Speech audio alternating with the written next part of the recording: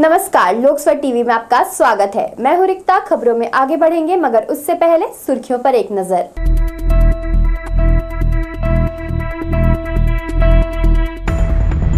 रेत से नहीं भरा पेट तो अरपा से निकाल रहे चिल्फी पत्थर, पर्यावरण को हो रहा नुकसान। सौ दिन का अभियान टीबी और कुष्ठ रोग की करेगा पहचान, केंद्रीय राज्य मंत्री ने रवाना किया प्रचार वाहन। और मोमबत्ती जलाकर अमर जवान स्मारक को भूला शहर धूल दूसरित होकर उपेक्षा का शिकार। तो ये थी सुर्खियाँ अब खबरें विस्तार से। अरपा नदी में अवैध खनन की गतिविधियाँ बढ़ती जा रही है। नदी किनारे गहरे और खतरनाक गड्ढे बन गए हैं। रेत और मिट्टी के बाद अब खनन माफिया ने चिल्फी पत्थर का दोहन शुरू कर दिया है, जिससे पर्यावरण को भारी नुकसान हो रहा है। बिलासपुर की जीवन दायनी अरपा नदी, जो कभी लोगों की प्यास बुझाने और सिंचाई का प्रमुख स्रोत हुआ करता था, आज खनन माफियाओं के निशाने पर है। ये नज़ारा है बिलासपुर के अरपा नदी का, जो अब खनन माफियाओं का गढ़ बन चुका है।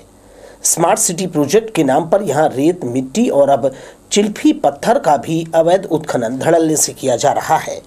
नदी के कई हिस्सों में बड़े बड़े जानलेवा गड्ढे बन गए हैं, जो स्थानीय लोगों के लिए मुसीबत का सबब है। स्मार्ट सिटी प्रोजेक्ट के तहत सड़क निर्माण के लिए नदी किनारे से मिट्टी निकाली जा रही थी, लेकिन ठेकेदारों के हौसले इतने बुलंद हो चुके हैं कि अब वो नदी के बीचों बीच चिल्फी पत्थर का भी खनन करा रहे हैं। इसका सीधा असर पर्यावरण और नदी के बहाव पर पड़ रहा है। खनिज विभाग के दावों के बावजूद खनन माफिया दिन दहाड़े नदी को नुकसान पहुँचा रहे हैं। अधिकारी सिर्फ़ रेत से भरे ट्रैक्टर पकड़ने तक सीमित हैं। लेकिन असल समस्या पर उनकी नज़र नहीं पड़ रही। स्थानीय निवासियों का कहना है कि माफियाओं की इस हरकत से नदी के कटाव और बहाव को गंभीर रूप से प्रभावित किया है। अरपा नदी की छाती चीर कर चिल्फी पत्थर निकाला जा रहा है, लेकिन प्रशासन अब भी मौन है। समय रहते अगर इस तरह के अवैध उत्खनन पर रोक नहीं लगाई गई तो पर्यावरणीय संतुलन बिगड़ सकता है। लोकसभा टीवी के लिए कैमरामैन जय साहू के साथ भूपेंद्र राठौर की रिपोर्ट। कलेक्टर अवनीश कुमार शरण ने डीएमएफ शासी निकाय की बैठक में भारत सरकार द्वारा जारी नए मार्गदर्शिका की जानकारी दी। केंद्रीय शहरी विकास राज्य मंत्री तोखन साहू, विधायक धर्मजीत सिंह, अटल श्रीवास्तव, दिलीप लहरिया, सुशांत शुक्ला बैठक में शामिल हुए। इस दौरान कलेक्टर ने नियमों के बदले प्रावधानों से सदस्यों को अवगत कराया। उन्होंने बताया कि अब खदान के 15 किलोमीटर दायरे को प्रत्यक्ष खनन प्रभावित क्षेत्र और 25 किलोमीटर इलाके को अप्रत्यक्ष प्रभावित क्षेत्र माना जाएगा। ज़िले की सीमा जो पड़ोसी ज़िले की प्रत्यक्ष या अप्रत्यक्ष प्रभावित जोन में आता हो तो उसका सर्वे कर संबंधित जिलों को रिपोर्ट दी जाएगी। गौरतलब है कि जनवरी 2024 में आयोजित शासी निकाय की बैठक में बासठ करोड़ के एक सौ तिरासी विकास कार्यों का अनुमोदन किया गया था। इनमें से इकतालीस करोड़ के कार्यों की स्वीकृति दी गई और 20 करोड़ के कार्यों के लिए राशि जारी की गई। आज डीएमएफ का बैठक था। नई गाइडलाइन जारी हुई है। उसके संबंध में जानकारी दिया गया। हमने कहा है कि जो भी पुराने कार्य जो स्वीकृत है, उसका जल्दी से जल्दी उसको पूर्ण करें। आने वाले समय में चुनाव होने वाले हैं, इसलिए सारे कार्य पूरे हो जाएँ। इस भर में पचासी नए केंद्रीय विद्यालयों की मंजूरी दिया गया है, जिसमें चार विद्यालय छत्तीसगढ़ को सौगाते के रूप में मिली है, मुंगेली, बेमेतरा, जांजगीर और सूरजपुर के लिए।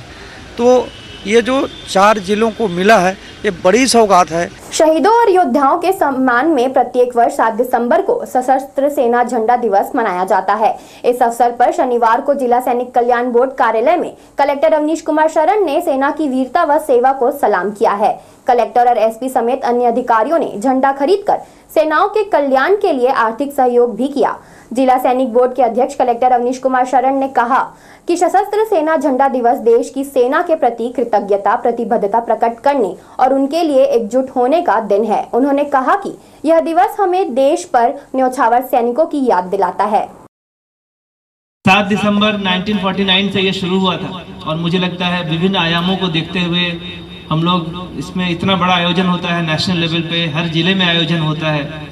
और इसके पीछे एक ही मकसद है, जो हमारे जवान जो शहीद हो गए हैं और उनके जो परिवार हैं, उनके वेलफेयर की बात हम करें। यहाँ पे जितने बैठे हैं, बहुत सारे लोग होंगे जो कहीं ना कहीं आर्मी से एयरफोर्स से नेवी से रिटायर्ड हुए होंगे। बहुत सारे लोग होंगे, शहीद परिवार के भी होंगे।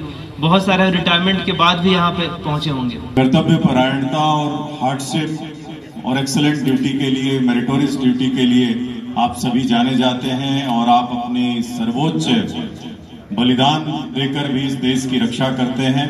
तो आप सभी को नमन है, सैल्यूट है मेरा।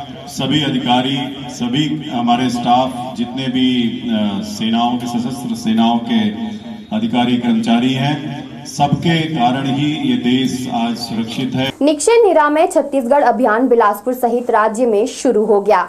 सौ दिनों का यह सघन अभियान 23 मार्च 2025 तक चलेगा। केंद्र शहरी विकास राज्य मंत्री तोखन साहू ने जिला कार्यालय परिसर से प्रचार वाहनों को हरी झंडी दिखाई।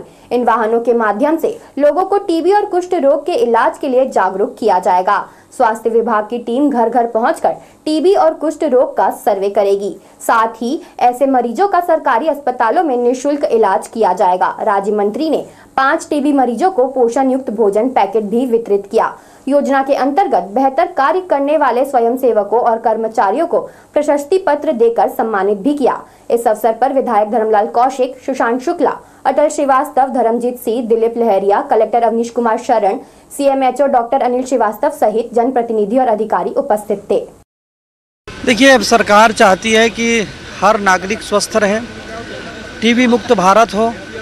इसके लिए लोगों को जागरूकता है और जो टीबी बीमारी से पीड़ित हैं, उनको निःशुल्क दवाई उपलब्ध करा करके उनकी सेहत का ध्यान रखना, ये माननीय हमारे केंद्र की सरकार और हमारे माननीय विष्णुदेव जी की सरकार के द्वारा यह पुनीत कार्य किया जा रहा है।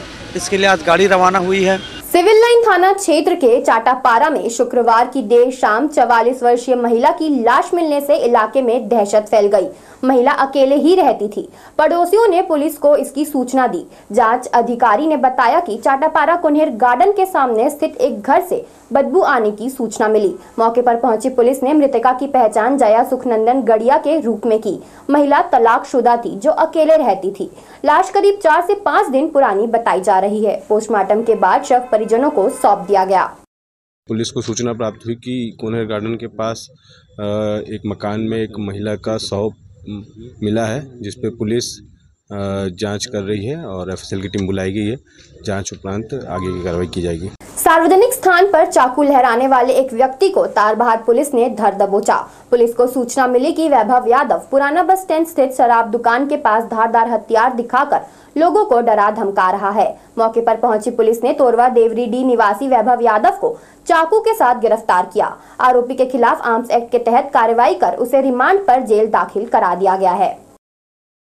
चकरभाटा में स्कूटी सवार महिला ऑफ़िस जा रही थी। तभी एक युवक अपनी मोटरसाइकिल अड़ाकर उसके साथ छेड़छाड़ करने लगा और ज़बरदस्ती हाथ पकड़ने की कोशिश की। महिला के शोर मचाने पर वो अपनी मोटरसाइकिल छोड़कर महिला की स्कूटी लेकर भाग गया। कुछ देर बाद युवक फिर मौके पर पहुँचा और इस बार मोटरसाइकिल लेकर रफू चक्कर हो गया। चकरभाटा पुलिस ने आरोपी उदय शंकर देवांगन के खिलाफ छेड़छाड़ का मामला दर्ज कर उसकी तलाश शुरू कर दी है। शहीदों की याद दिलाता अमर जवान स्मारक तब तक उपेक्षित रहता है जब तक राष्ट्रीय पर्व न आ जाए। 15 अगस्त और 26 जनवरी के अलावा किसी बड़े घटनाक्रम के खिलाफ एकत्र लोग यहाँ मोमबत्ती की रोशनी करने आते हैं। इसके बाद यह स्मारक धूल सना बदहाल रहता है। कई साल पहले सौंदर्यकरण किया गया था, लेकिन इसके बाद शहर की पहचान अमर जवान स्मारक की तरफ़ नगर निगम ने ध्यान नहीं दिया है। आइलैंड कई स्थानों से उखड़ गया है। आसपास फैली गंदगी और सफ़ाई का अभाव अमर जवानों के प्रति शहरवासियों की उदासीनता को बयां कर रहा है। बीच बीच में अमर जवान के नामों से स्मारक के रूप में बना हुआ ये चौक है, जो हमारे शहीद भाई जवान जो शहीद हुए उनके नामों से। बीच बीच में कुछ सीआरपीएफ या पुलिस के जवान वगैरह कुछ अमर दिवस यहाँ बनाते रहते हैं।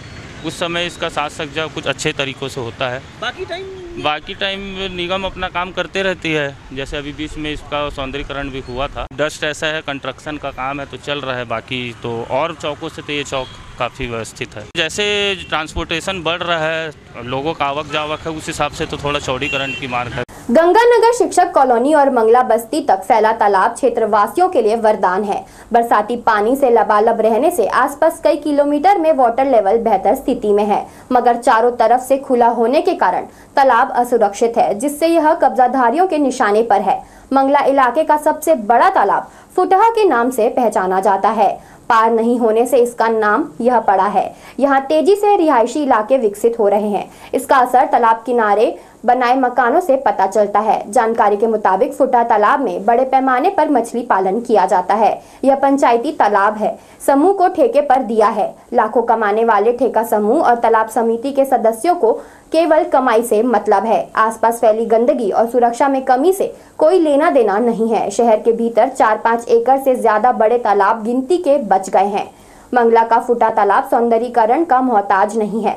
सुरक्षा घेरा और पचरी निर्माण कर लाइटिंग कर दिया जाए तो अवैध कब्जा और गंदगी फैलाने वालों पर रोक लग सकता है।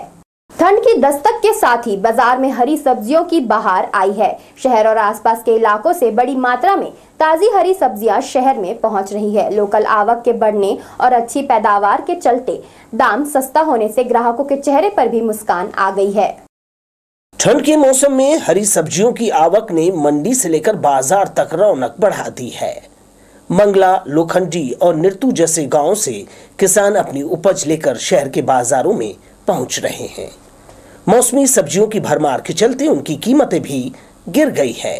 फूल गोभी पत्ता गोभी पालक, मूली, हरा धनिया और लाल भाजी जैसी ताजी सब्ज़ियाँ अब बाज़ार में आसानी से उपलब्ध हैं।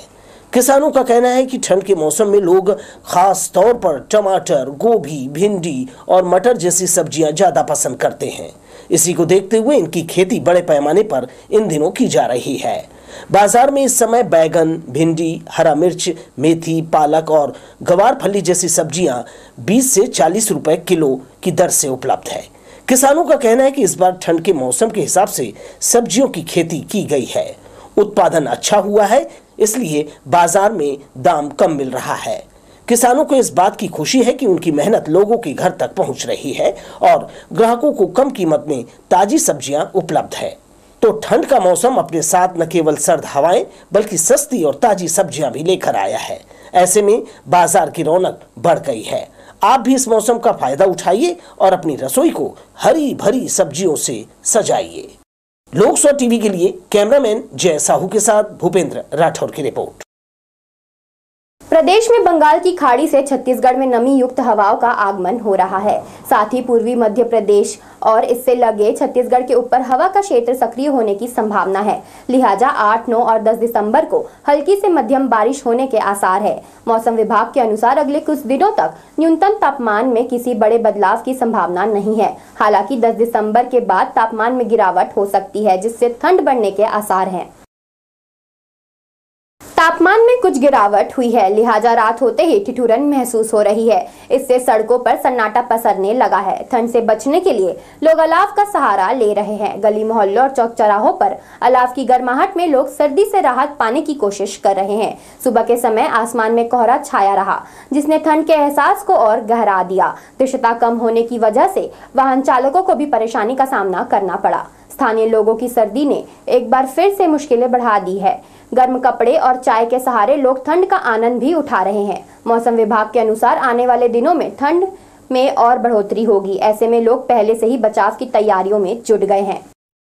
खंडोबा नवरात्र पर्व विदा कर मराठा परिवारों ने मनोकामना पूर्ति का आशीर्वाद मांगा। छह दिवसीय पर्व के दौरान नियमित पूजा पाठ और अपने इष्ट देवता की आरती कर यथाशक्ति भोग अर्पित किया। बिलासपुर में मराठा समुदाय वार्षिक नवरात्र के छह दिनों का उत्सव अपने घर पर श्रद्धा और उत्साह से मनाता है। इस दौरान प्याज, लहसुन का त्याग कर घर में पूरी तरह सात्विक भोजन पकाया जाता है। उनके अनुयायियों ने कहा, आराध्य बाबा खंडोबा भगवान शिव के अवतार के रूप में पूजे जाते हैं। सोमवार से हमारे खंडोबा का नवरात्र प्रारंभ होता है और छः दिन का एक कार्यक्रम होता है। इसमें छः दिन सुबह शाम आरती होती है। सभी घर के परिवार के लोग इसमें जुड़ते हैं और उसकी पूजा सुबह शाम होती है। आज उसका समापन होगा। तो आज के दिन से हमारे यहाँ बैंगन लहसुन प्याज इसका खाना शुरू होता है। और इसके बाद से शुरू होगा तो जुलाई तक चलता है। जुलाई से फिर बंद होगा। एकादशी तक। शंकर भगवान के अवतार हैं और जेजुरी में इनका प्रमुख मंदिर है। वहाँ हम लोग सबको अपनी कुल देवता करके सभी जाते हैं, जिसका जैसा जमता है वैसे। और हल्दी का महत्व है अवैध शराब के एक मामले में कोतवाली पुलिस ने आरोपी के खिलाफ कार्रवाई की है। पुलिस ने मुखबिर की सूचना पर टिकरापारा में दबिश देकर आरोपी से 17 पाव देशी प्लेन शराब और बियर जब्त किया है। आरोपी सुमित उर्फ़ चुन्नी खटीक के खिलाफ आबकारी एक्ट के तहत कार्रवाई की है। शनिवार को जैसे ही पुलिस को शराब की अवैध बिक्री की भनक लगी, इस पर पुलिस मौके पर पहुंचकर आरोपी सुमित को शराब समेत गिरफ़्तार कर लिया। रेलवे प्रशासन द्वारा अधोसंरचना विकास कार्यों को तेज़ी से पूरा करने के उद्देश्य से दक्षिण पूर्व रेलवे के रांची रेल मंडल और ईस्ट कोस्ट रेलवे के खुर्दा रेल मंडल में ट्रैफ़िक कम पावर ब्लॉक लिया जाएगा। रांची रेल मंडल में यह कार्य 12 से 26 दिसंबर तक चलाया जाएगा, जबकि खुर्दा रेल मंडल में 7 और 8 दिसंबर को कार्य किया जाएगा। इसके कारण हैदराबाद पटना स्पेशल 18 दिसंबर, मालदा सूरत एक्सप्रेस 21 दिसंबर और रक्सौल सिकंदराबाद एक्सप्रेस 17 दिसंबर को परिवर्तित मार्ग से राउरकेला, मूरी, कोटशिला होकर चलेगी। इसके अलावा पूरी वलसाड एक्सप्रेस को 8 दिसंबर को 4 घंटे 50 मिनट की देरी से पूरी से रवाना किया जाएगा।